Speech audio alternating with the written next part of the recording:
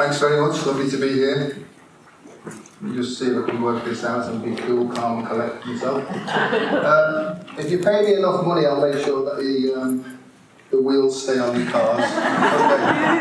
Because that's how we make money on Merseyside. But um, this is really about, um, we've talked about real food, but hopefully this is about real life. And it's about, um, it's about something called emotions, really. And it's how we emotionally engage in lots of stuff, right? That brings about physiological consequences and changes the way we choose and stuff like that. So I'm sort of um, associated with all these different places here.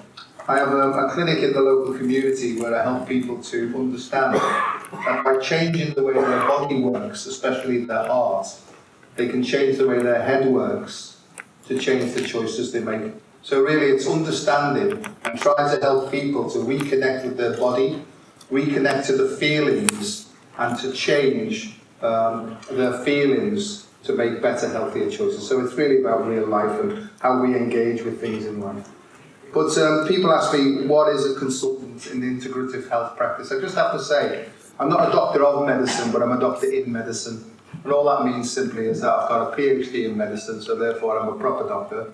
And um, this is my field really, integrative medicine. It's really psycho, neuro, endocrino, immunohematology. okay, okay. And what it, what it really means in simple terms is that what goes on in your psychology sends signals to your nervous system. Are we okay with that so far? Okay. Now, how your thinking sends signals to your nervous system, right? That's a whole other talk. You know, probably last a lifetime to understand that bit.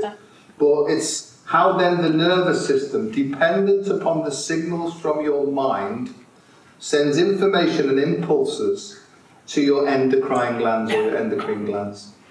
You know, and those endocrine glands secrete substances which then go into your biochemistry and into your hematology, into your blood, which impact then upon the cell surfaces of stem cells.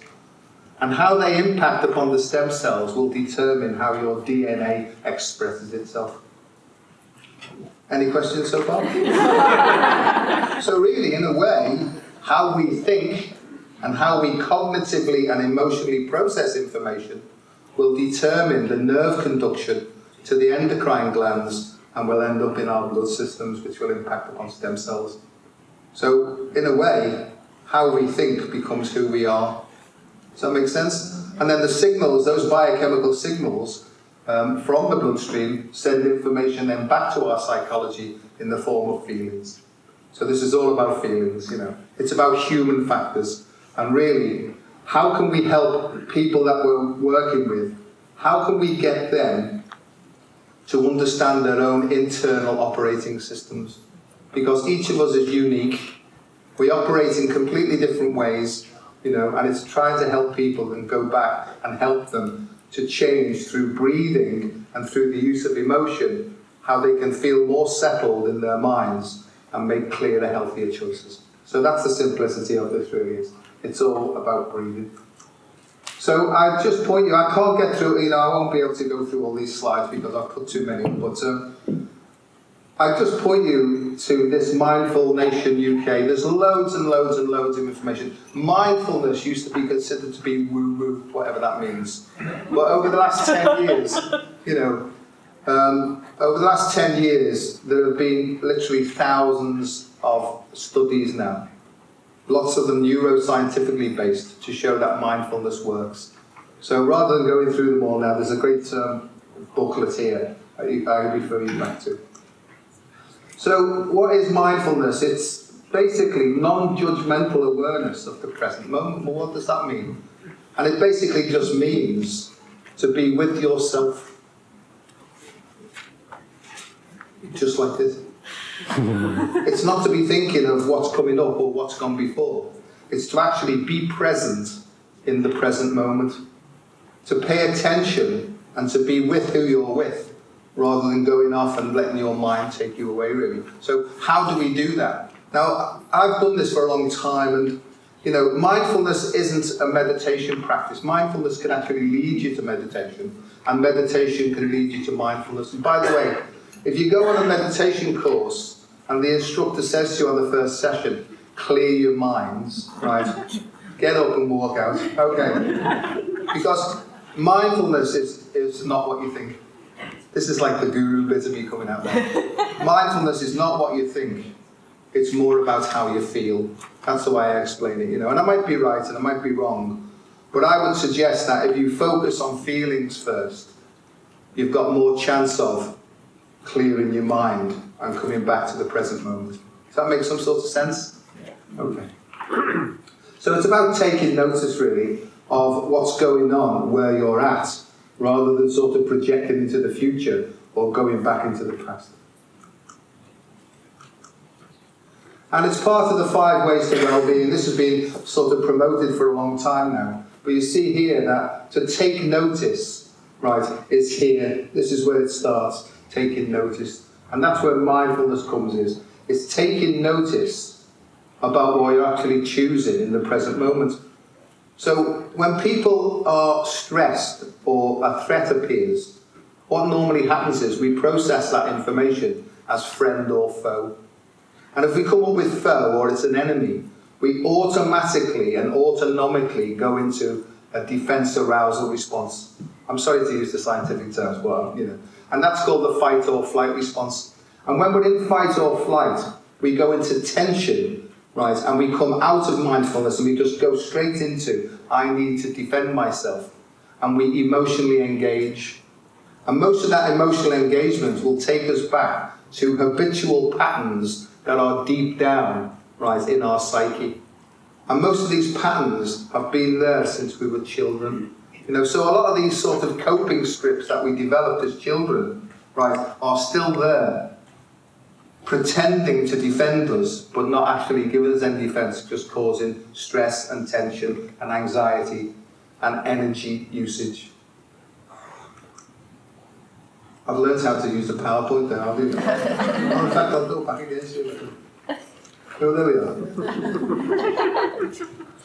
so, over the last decade especially, mindfulness has increased massively in popularity. So, what tends to happen is more and more people are sort of looking for alternatives or really looking backwards to try and find out when things were a bit calmer, a bit cooler. How did people remain or how is it that some people can remain cool, calm, and collected in this sort of very volatile and uncertain world that we live in?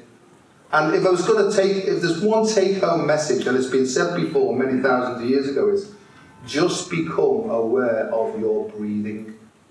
I would just say that is because most of us and most of the people I see are so disconnected from their body, right, and so distracted by what's going on out there that if we become aware of our breathing and get better at it, then it brings us back to our body. It can bring us, it can help us to disengage from what's going on, take a step back, find some space to think again. And I think this morning's um, talks and sessions have been about um, making the right food choices.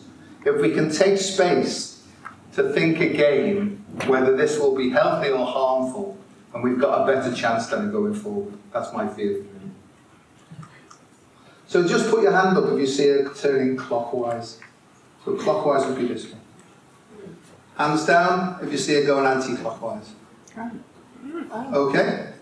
So two-thirds of you approximately saw it going clockwise, and a third of you at the same time saw it going anti-clockwise. So let's do that again. Let's put your hand up if you see it going clockwise.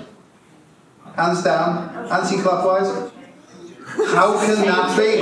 Now, I know I'm from Merseyside, right, but I'm not here to cause trouble, right?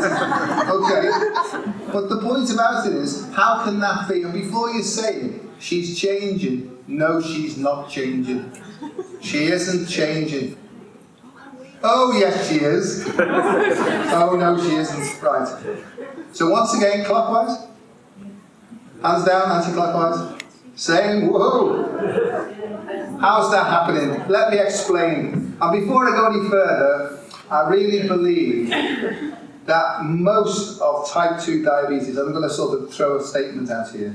I feel that most type 2 diabetes, the root cause of it is misperception.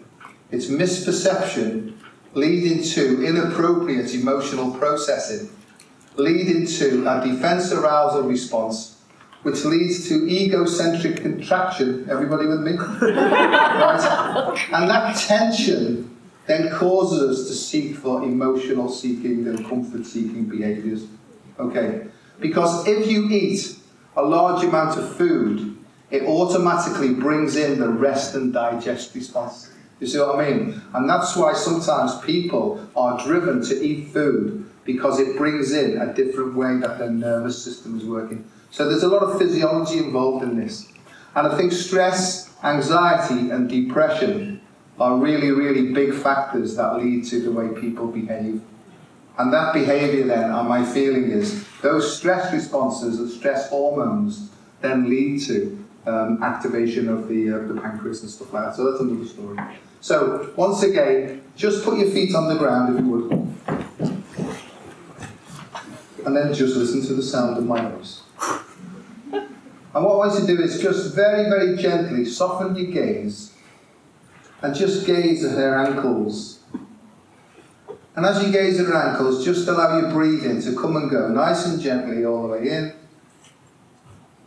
And importantly, all the way out. Make sure that you're breathing all the way out.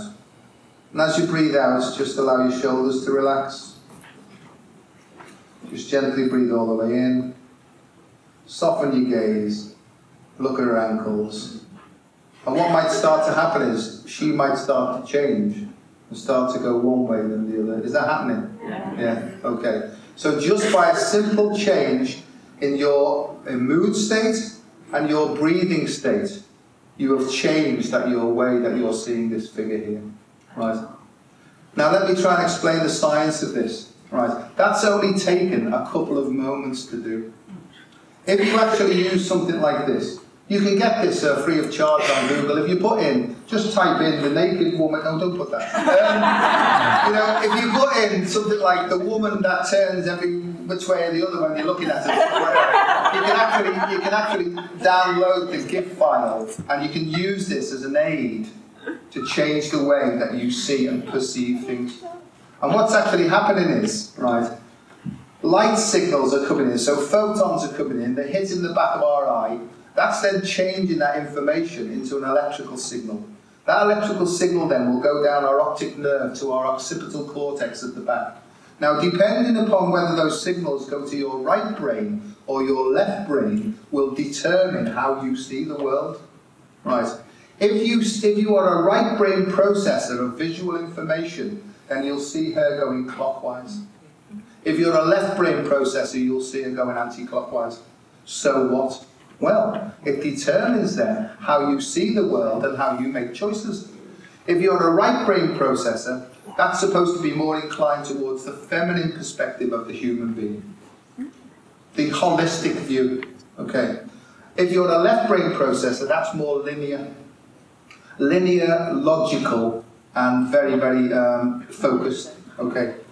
The idea is, if you want to really be balanced, is, is to be able to see both alternatively. Do you see what I mean? So if you can just again put your feet on the ground, soften your ankles, and as you go deep enough, what should happen is if you practice this, you can see it going one way, then the other.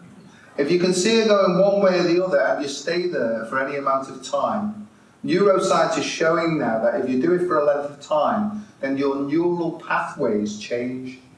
And your neural pathways in your brain determine your behavior, you see.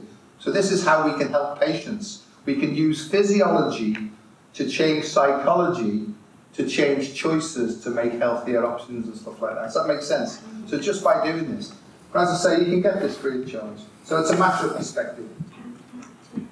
So the next thing is that perception and outcome, how you, oh by the way, it's important in relationships because if you're default to a right brain processor and you're living with somebody who's a left brain processor, you know, in arguments you can never see eye to eye, right? This is the whole point is, in stressful things you will default to your childhood responses And you will choose those coping strategies to try and get yourself out of the situation. Some people go forward, some people go backwards. Do you see what I mean? So the whole point about it is, in order to get some balance, it will be helpful to know this and to be able to change your emotional responses to life. So there we are, there's some marriage counsel in there. so, we see things, we perceive things, we interpret things.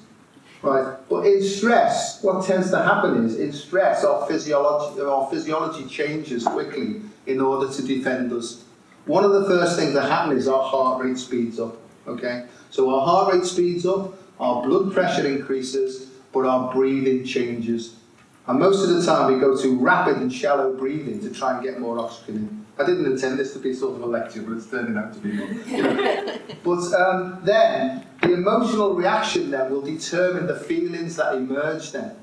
And the feelings that emerge will change our thinking, and the way we think then will change our behaviour. Now, modern medicine, as it stands at the moment, feels that if it can introduce some more cognitive techniques to change behaviour, then that will help people. So what we tend to do is we try to put the same message across using more refined techniques. Are you with me? We will reframe it in a different way, but the message remains the same. I'm going to try and turn that on its head now because I think it's really important. And I'm going to say that if we can change our physiology and we can change our emotional state, our feelings are different, our thinking's different, and what emerges is we get a much more open-minded approach to making choices. So this is hacking physiology to change psychology. Does that make sense? Yeah. And it's really turning everything on its head because does this work? Does using mindful breathing work to change people's behaviours? Right. The other thing is, when we try and change the cognitive side of things, we try and introduce more thinking, grit your teeth, yes you can, you can do it, you know, all those like sort of boot camp mentalities and you know, and we'll all do this together, you know. It brings in more tension, and that's why over the long term people rebound to the old behaviour. Most people don't realise that the patterns are in our what's called the other than conscious part of our mind. They're in our deeper psyches, they're in our long-term memory. You can't use that one there to get into that one there because that's much more powerful. That's where all the defense mechanisms lay. So that's the mind and that's the body. And I think the body, in my opinion, the body is always sending signals out of how, it's emotionally processing information. So, does it work? Quickly, just go through a quick case study. We, we picked a, an interesting case here. It, was a hopeless case. Male, alcoholic, and we've talked about drinking. He was a heavy smoker as well, so we're trying to bring all those principles of healthy living in. Right. He's got severe mental and emotional difficulties. He's broke, right? He's on a second divorce, so he's obviously hasn't got that right brain left hemisphere thing going. Right? He's on numerous medications, chronic low back pain, stomach problems, depression, stress, anxiety, depression, all those things. He's got tension myositis syndrome. That just means that he's got chronic muscle tension, sometimes misdiagnosed as fibromyalgia and stuff like that, but all, all in the same mix, if you like and he's got all sorts of infections in his body. We got some um, some markers of his uh, physical state. Six foot tall, 17.3 stone, BMI, so he's obese. His blood pressure's up, but he wasn't actually um, treated for blood pressure. His heart rate's up. His fasting blood glucose six six point one, so he's probably a pre-type two diabetes, and his mood was obviously low. But now using mindful breathing and deliberately developmental stress-free education, he's still the same height. That's what truth is everybody. But he feels much taller. Okay. His weight's 95. So the other thing is, if you saw that his weight was 95 and you didn't know what his journey was, right, then you might think, oh, that needs to go off. Okay. But the point is, he's lost all that weight, right? His BMI's coming down, his weight's coming down, his blood pressure's come down. He's not on any medication at all now, or hasn't been for a long, long time. He's not opposed to medication when it's used in the right amount at the right time for the right condition, right? His resting heart rate's 48 beats a minute. His blood sugar's down to normal. and his mood's much higher. So if you like, he's turned the tables backwards, right? And where is he now and what's his fate? Well, that was me. That's why they dragged me up here. You know, they, wheeled me in to say, yeah, you've done a bit of this stuff. But that was me, and I was in a terrible state. And right at the end of all that there, I made a massive attempt, a serious attempt to do myself in, because I was so depressed, so full of anxiety, so full of guilt, and so full of remorse, right? I just didn't know what to do with myself. Not only was I hurting myself, but all the people around me were powerless to help me, you know. And I tried absolutely everything. I'm not a bad person. And every time I went to my health professional, they would try a new technique. They'd try and shock me into it. Now, the thing about it is, all my behavior was driven by fear. It was driven by emotional sensitivity and emotional insecurity, right? And every time somebody tried to shock me into it, it drove me more quickly to the behaviour. You see what I mean? So I feel that addictive behaviour, including alcoholism, drug taking, gambling, all those things, are all to do with emotional sensitivity and emotional immaturity. And we talk about person-centered care. We're trying to put more and more responsibility back onto the patient now because, you know, I suppose when you get to a certain age, if you can make your own choices, then you are responsible for the choices and the consequences of those choices but it's how you get that across to a person that's important. You know, and I know now that you know to come away from this victim consciousness into a more empowered state, it takes time, it takes compassion, it takes sensitivity, and it takes questioning in a certain way. Because to me, education, the Latin educere, see I'm off on lecture mode it means to draw out of or to lead out of. And I don't feel that you can actually empower somebody else. I think that you can facilitate an environment where they make the choices that gives them more empowerment. Do you see what I mean? So if we, if we not making it easier for somebody and doing what they need to do for themselves, but it's encouraging the fearful. And it's sometimes knocking down the arrogant ones who think that they've got it sorted. If you share your honest experience with people, right, something happens at a deeper level. There's almost like a, a recognition that I'm no longer alone here. You know what I mean? Because when I first heard people talking about things, I think they must have, my mother must have told them what I'm behaving like, you see. But they were sharing their personal lived experiences. And that's why I love these conferences here, because it's based on real. I'm calling it raw authentic and rawsome lifestyle, you know what I mean? Because it's real, it's rough, it's in your face, it's honest, it's truthfulness, you know. So that's what I'm doing now. You know, so mindfulness, it's about stress-free education. What I'm going to do now is I'm going to whiz through these slides. Please have a look at the PowerPoint when it goes up. Um, I just want to show you some physiology because to me, it's all about restoring coherence at the level of the heart. Because we think that the brain is the greatest oscillator, but in fact the heart is a much greater oscillator. And we've sort of given the head a more important place my feeling is that if you can change your breathing, we change the way the heart works. I'm going to show you that now. If we change the way the heart works, the, the signals going back to the brain change, right? And then when we're in a calm and cool and collected state, we can make much more um, informed decisions, if you like. So this is about making space. But it means taking time out. You know, it means taking, it means taking a step back and rethinking. But if you're in stress and your automatic response is to go forward and get stuff done, right, then you can never find that space. And I was on that treadmill for a long time, years and years of stress, anxiety, leading to depression, and then leading to suicidal ideation and stuff like that. So, this is just the, the neuroscience of it, really. And all those inputs there on the left hand side, they'll affect the way that your central nervous system interprets information. That will then send information via what's called the autonomic nervous system to the sinoatrial node of your heart, and it will put out this pattern here. So really, the, the HRV pattern represents your emotional processing and how you process information. What can we change? Well, the only things that we can change on there are our respiration and our emotional state. So if you can bring in a positive emotion and breathe at around six breaths per minute, okay, you change the way your HRV pattern works, Therefore, you change the signal that comes out at the level of the heart, and then everything changes from there.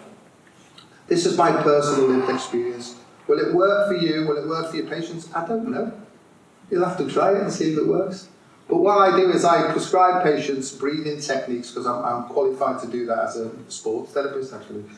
Um, I show them different breathing techniques and normally people breathe at rest about 12 to 15 breaths per minute. I help them down to 9 breaths per minute and then down to 6 breaths per minute. And you'll notice that some of the old techniques of movement, this one for example, where we move like this and we move from there like that, you might have seen people doing this, and then starting to move like this. All look like nutters, don't they? but they're all moving very, very gently and very slowly. But as you're moving in Tai Chi, for example, you're breathing in and you're breathing out around about six breaths per minute. So 3,000 years ago, they had some idea of that this helped, you know. So what we've done in the last 200 years, is we're just catching up now. Okay. So just to go to that there, we changed the HRV pattern by changing our breathing and changing our mood state. So the most important thing about it is heart rate variability biofeedback the slight difference in the interbeat interval gives an indication of how we're emotionally processing information. That's somebody's interbeat interval over five minutes um, in, the, in a state of psychological stress. And that's what happens is, don't worry too much about this. This is a scattered power um, equation to show how there's all sorts of things happening emotionally right across the board. But this is somebody who's breathing, this was me actually, at five breaths per minute. This is the way my heart was working. So on inspiration, the heart rate goes up. On breathing out, the heart rate comes down. If you practice this for three, ten minutes a day, this is what I suggest to people, for 90 days, then what starts to happen is the way you emotionally process information and are able to disengage from um, reactivity, the better choices you make. And this is basically saving my life. And so that's what happens is all the power then comes into one peak. Don't worry too much about this. Uh, I've put some references on the back where you can find this information. So let's discuss the powerful effect on what's called heart rate variability. To use technical terms, those lumps, right, that's the technical term for Those lumps are the way your heart acts at certain um, breaths. The small one is 12 breaths per minute, when you move then down to nine breaths per minute, you can see that the mountain is getting bigger. Okay. At six breaths per minute, what happens is your sympathetic and your parasympathetic nervous systems work harmoniously with one another. So it increases, but, don't worry about the terms, but it increases the focus really on how your brain works as well. That's all I've got to say. This is happy looking fellow, he's a bit younger there, but um, you know, just to say that this happened a long time ago. I've lost weight. People think that this is to do with fat. This is a Buddha belly. or that's what I'm saying. I felt like an ectopic beat when I came in here. With all you slim people, I thought they're all looking at me belly, you know what I mean? But the thing about it is, something that you learn in this as well, is that most people in the West don't breathe properly. We breathe clavicularly, you know. And when we're supposed to breathe, what's supposed to happen is this Most people breathe like this. And they suck their breath inwards. You can see them, you know, when you're going down the mall. Is called the mall. It's probably called the mall in Manchester. When you go when you're going down the mall, you know, you see somebody you know. Hello, Charlie. How are you? I'm looking well. and so the point is, you know, we're always trying to change our physiology, but maybe we're doing it the wrong way around. You know. So I don't know whether that's made any sense, but um, I've put some information on there about it and I've put some references on. Um, the NHS, right, on their NHS websites, they do talk about stress, anxiety, depression, and stuff like this, and mindfulness as well. I would hear these techniques, these non medical interventions, and immediately my mind would block me off from them. Sure, that can't work. Where's the proof? Right. And I, have written an article now, it's in the Journal of Anecdotal Medicine. Right. It was a big, it was a big study, n equals one, right? Me. I am my own evidence now, you know. And the reason I'm so sort of enthusiastic about this is I know that it works. And what I was actually doing is I was expecting too much. I was looking outwards for the answers. And really I've gone from expect to inspect, you know. So I'm sort of tuned in now. I use my left ear to tune into here and to focus on my breathing. And I can almost tell now when my body's processing something that's threatening to it. And most of that processing is going on below the level of my conscious mind. Just, I don't know whether this is making sense of it, but um, the idea is, well, how do I practice it? You don't need any special gear, right? All you need is a nice quiet place, right? If you just put your hands on your heart like this, right? I know it sounds a bit like put your hands on your heart, you know. Put your hands on your heart, just feel here, and just imagine that you're breathing a positive emotion, some sort of caring feeling. And in, two, three, four, five, out, two, three, four, five. Three 10 minute sessions a day for 90 days. I swear to you, it will help you, it will help your patients. It's helped thousands of people, you know. And um, I just hope that we can sort of understand that sometimes you can change the way your body works to change the way that your mind works to make better choices. Mm. Well, there you are, you're done. And thank you so much for, um, you know, inviting me to come along and I hope that you've got something from that. Thank you. We've got health professionals here who've trodden the path, if you like. We've got patients who've come along to share their personal lived experiences. And um, to me, it's just about sharing information, not just information that works, but also information that doesn't work as well, because people can get a more sort of general idea then of other people's progress and things like that. Well, because I've sort of trodden the path myself and come from one end to the other, you know, um, I've been through the process. So what I tend to do is share my personal lived experience in an, in an open and honest way, uh, as far as I can remember.